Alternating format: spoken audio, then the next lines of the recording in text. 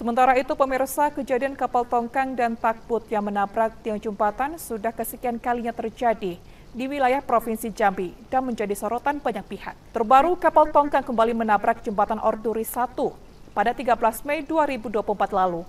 Adapun menurut kepolisian, penyebabnya adalah faktor cuaca.